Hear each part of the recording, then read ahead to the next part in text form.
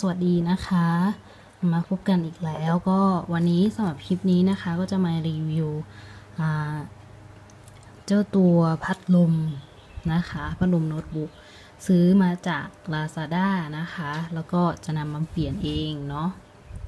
ก็มันจะเป็นของต่างประเทศเนี่ยมันจะราคาถูกนะคะ แต่ว่า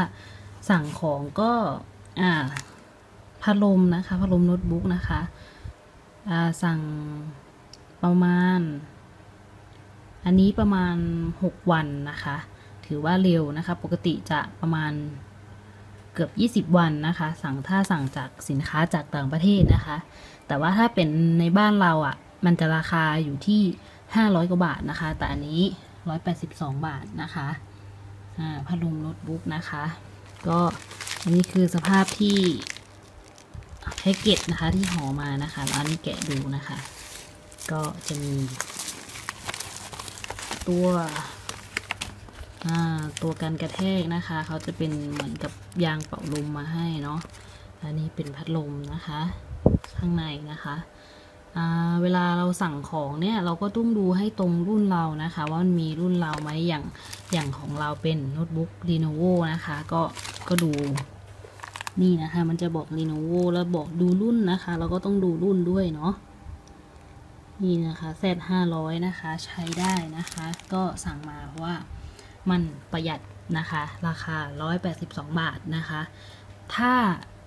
สั่งในอินเทอร์เน็ตเลยเนี่ย มันจะอยู่ที่ 550 บาทนะคะ ก็ก็เลยลองสั่งจาก Lazada ดูนะคะ เป็นสินค้าจากต่างประเทศ มันก็เหมือนกันนะคะ เดี๋ยวเราจะลองมาเปลี่ยนกันดูนะคะ เอาวิธีเปลี่ยนนะคะ ก็ให้ลองศึกษาก่อนนะคะ ดูรุ่นของคุณนะคะว่าหาดูใน YouTube นะคะว่ามันแกะยังไงยังไงนะคะ นี่นะคะ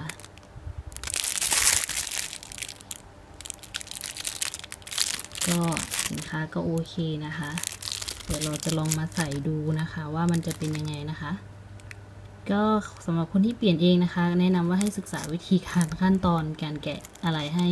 เรียบร้อยก่อนนะคะ แล้วก็เปลี่ยนนะคะโอเคค่ะ เดี๋ยวเราจะมาเปลี่ยนกันนะคะเมื่อกี้ลืมบอกสาเหตุนะคะ สาเหตุของอเจ้าตัวพัดลมที่ต้องเปลี่ยนก็คือมันจะมีเสียงดังนะคะ ก็ถอด แกะออกมาแล้วก็ทำความสะอาดแล้วมันไม่หายนะคะ ก็เลยต้องเปลี่ยนตัวพัดลมใหม่นะคะมันจะมีเสียงดังลำคาญนะคะกระแคกแคกอยู่ตลอดเวลานะคะ ก็เลยซื้อมาเปลี่ยนนะคะโอเคค่ะเราจะไปเปลี่ยนกันนะคะอ่านี่นะคะ ตอนนี้เราก็ได้แกะมาแล้วนะคะ เดี๋ยวเราจะเปลี่ยนจากตัวนี้เนาะอ่าแล้วก็มาใช้ตัวใหม่นะคะที่ได้จาก Lazada นะคะ โอเค เดี๋ยวจะไปเปลี่ยนให้ดูนะคะเราลองมาเทสกันว่ามันจะมีเสียงอีกไหมนะคะ มันจะดังอยู่ไหมหรือว่ามันจะเป็นยังไงนะ โอเคค่ะอ่านี่นะคะ ตอนนี้เราก็ได้เปลี่ยนออกมาแล้วนะคะ นี่ นี่เป็นตัวเก่า แล้วก็อันนี้เป็นตัวใหม่ใส่ไปแล้วเรียบร้อยนะคะ นี่นะคะ อ่า เดี๋ยวเราจะมาประกอบแล้วก็เปิดใช้ดูนะคะ หลังจากที่เราเปลี่ยนเสร็จเรียบร้อยแล้วเนาะ อันนี้เป็นตัวเก่านะคะ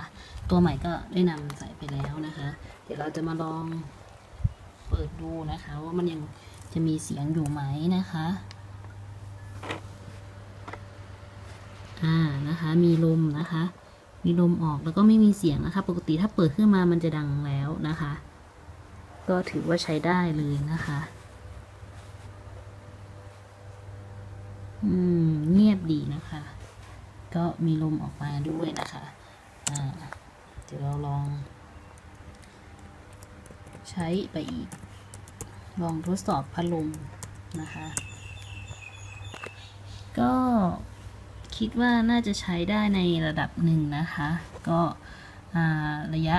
เวลาการใช้งานก็ต้องรอดูกันอีกทีเนาะก็ในส่วนตัวคิดว่าสั่งจากต่างประเทศเนี่ย คือมันก็เหมือนในในในบ้านเราเนาะที่เขาสั่งมาจากต่างประเทศแล้วก็มาขายให้เราอีกทีนึงนะคะ ก็คิดว่ามันน่าจะ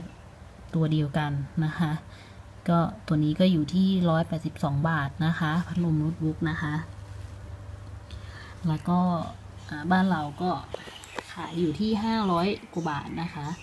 เดี๋ยวจะมาลองใช้ตัวหมุนพัดลมนะคะให้ดูนะคะอ่าตัว นี้นะคะ นี่นะคะ ถ้าปกติใช้ตัวนี้ ตรงนี้ตัวคือไล่ความร้อนนะคะ มันจะใช้แรงพัดลมมากกว่าปกติอยู่แล้วนะคะ อันนี้ถือว่าเสียงปกตินะคะ แต่ถ้าเป็นตัวเก่ามันจะดังมีเสียงแกกๆมาด้วยนะคะ มันจะดังแบบแขกๆมาเลยนะคะ เหมือนในรูปในวิดีโอก่อนหน้านะคะ ก็ถือว่าใช้ได้นะคะ ถ้าใช้ตัวนี้แล้วไม่มีเสียงแขกๆเข้ามานะคะ ก็ถือว่าพัดลมใช้งานได้นะคะโอเคเลยนะคะอ่าถ้าเราไม่ใช้คำสั่งตัวนี้มันจะไม่เป่าลมนะคะ คืออ่ามันจะไม่ไล่ความร้อนระดับนี้นะคะนี่นะคะก็เงียบนะคะปกตินะคะ โอเคค่ะยังไงก็ อย่าลืมกดไลค์กด subscribe ให้ด้วยนะคะ ยังไงก็ถ้ามีประโยชน์ต่ออทุกคนนะคะ ก็นำวิธีนี้ไปใช้ดูนะคะ ก็ยังไงก็ขอบคุณมากนะคะ วันนี้ก็สวัสดีค่ะ